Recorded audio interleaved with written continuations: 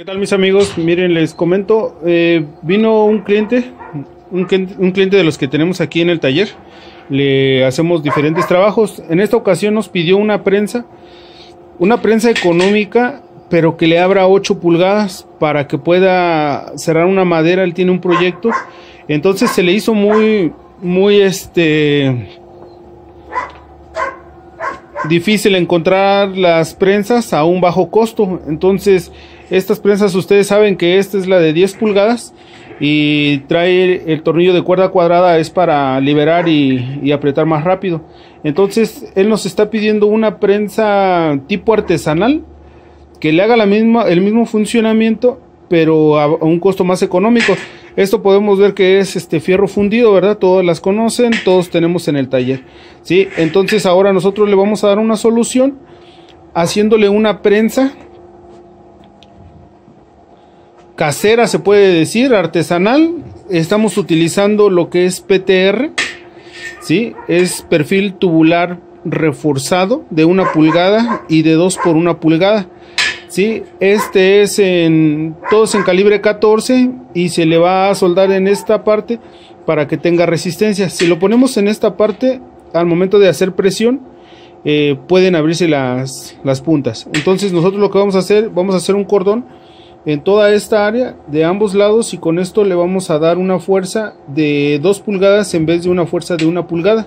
¿sí? Eh, vamos a utilizar estas piezas como bases en solera que vamos a hacer unos recortes y estas estas este, tuercas las vamos a meter en la parte de abajo entonces con esto vamos a meter el tornillo estamos viendo que tenemos nosotros aquí demasiados tornillos de proyectos que hemos que hemos estado realizando este tornillo que es este muy largo parece que es de 8 pulgadas pero nosotros lo que necesitamos en sí es la cuerda, porque este lo podemos haber metido, pero nada más nos va, un, nos va a dar este, dos pulgadas de ajuste.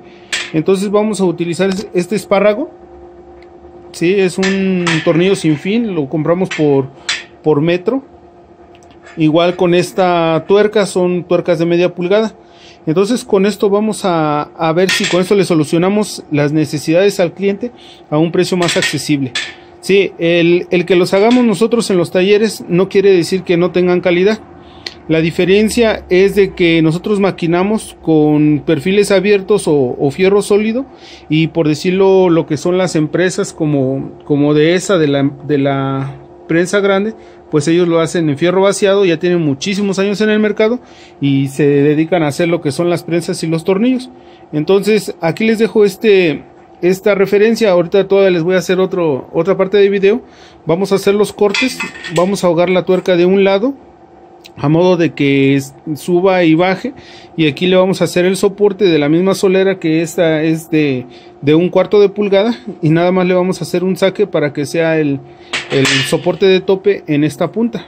¿Sí? Déjenme su comentario y, y espero que este video también les sea de mucha utilidad porque en ocasiones todos tenemos lo que son las prensas pequeñas de 4 pulgadas, de 5 pulgadas o las pinzas C, pero cuando necesitamos algo más grande, tenemos que improvisar y hacerlo bien con este, los materiales que, que tenemos o simple y sencillamente comprar los materiales que se necesitan y haciéndolo funcional el producto. Miren mis amigos, este Aquí ya le punteé lo que es, son las dos tuercas.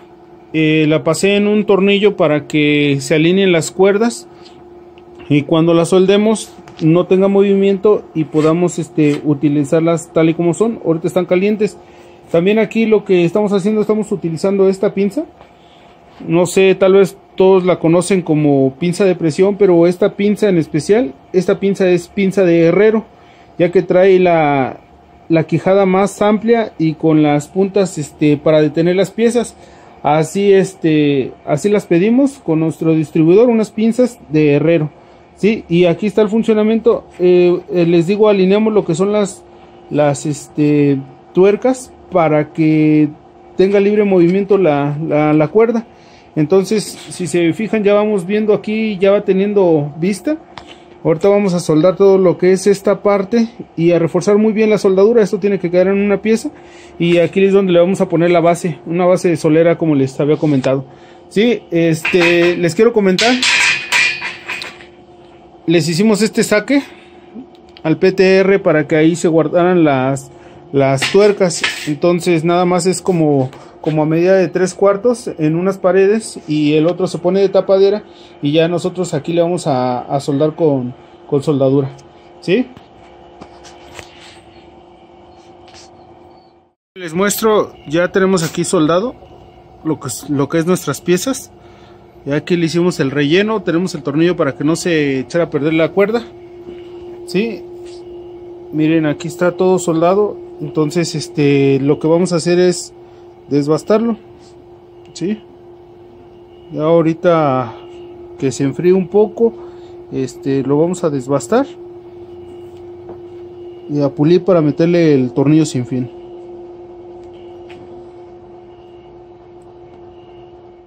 este ya ya estoy aquí armando lo que son los espárragos nos ayudamos aquí del de la esmeriladora de banco la, el esmeril de banco le hicimos un, pequeño este, desbaste hasta dejarlo a un cuarto. Y en este vamos a hacerle el movimiento que tiene para que no atore las piezas. Vamos a utilizar un chapetón de una pulgada de media, este, media esfera. Ahorita vamos a perforar este. Y este se lo vamos a dejar de, campana en el espárrago. Para que sea el que va a hacer el, el movimiento de presionar la, pieza y en la parte de acá arriba del espárrago le vamos a soldar una tuerca a modo de hacerle poder hacer una palanca para que lo puedan este, girar ya que no tiene tuerca entonces este vamos en este paso nada más quise mostrarle este esto es bien importante que se le haga la punta porque si solamente la dejamos en el en, punta plana pues lo que hace es perfora entonces nosotros queremos que quede esta tapadera loca para que cuando estemos apretando algo esta no se mueva y no me esté moviendo el tornillo. Por eso se le llama este, tapadera loca, para que esta quede suelta en cualquier lado.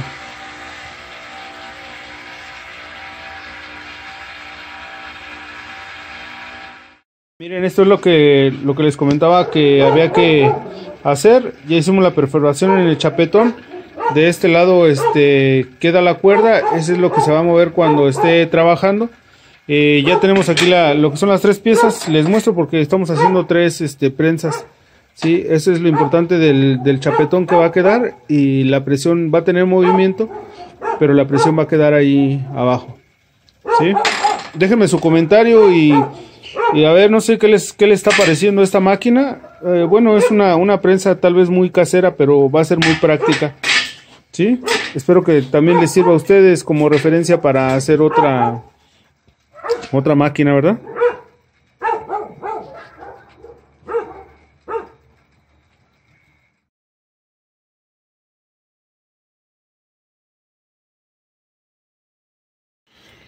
Pues ya están terminadas amigos estas, estas prensas C que son de fabricación casera van a cumplir la función de la que tiene esta Sí, esta nosotros la hicimos más grande para que tenga más, más oportunidad de, de apriete. La única diferencia que sí es algo muy notorio es el tornillo. Este, este tornillo es de cuerda estándar. Entonces van a dar más vueltas para poder apretar. Y a diferencia de los que manejan ellos, que es, es esta cuerda, esta cuerda se llama cuerda cuadrada. Esa es para fuerza. ¿sí? pero como les comento, este es un, una prensa que está fundida, ¿sí? Entonces nosotros lo que hicimos aquí fueron estas, eh, de manera, pues aquí más o menos artesanal, ¿verdad? Con PTR de 2 pulgadas y de 1 pulgada, con refuerzo de solera de un cuarto. Este, nuestro tornillo de media pulgada, en la parte de acá atrás se le puso la, la tuerca, como le dije, para que pudiera girar y un, un redondo de 3 octavos con unos remates para poder hacer la, palanca. Y esto es lo que le comentaba, eh, se le puso el chapetón aquí, que estuviera un chapetón loco para que cuando estuvieran apretando, eh, este se queda fijo en la madera o en las piezas que aprietan y el, tornillo sigue, sigue apretando. Sí, en la parte de abajo le pusimos una roldana. Aquí se puede, se puede apreciar. Es una roldana y por dentro pues lleva soldado lo que es el, el puntal del, del tornillo, ¿sí? Entonces, no sé qué les parezca, es un, un, trabajo pues que siempre son muy necesarias en el, en el taller de carpintería y en el taller de herrería y pues esta vez nos tocó fabricar estas prensitas, este, gracias al cliente que nos, nos dio la confianza. Espero su comentario y, y espero que se suscriban a este su canal y que nos, nos regalen un like. Muchísimas gracias y hasta el próximo video.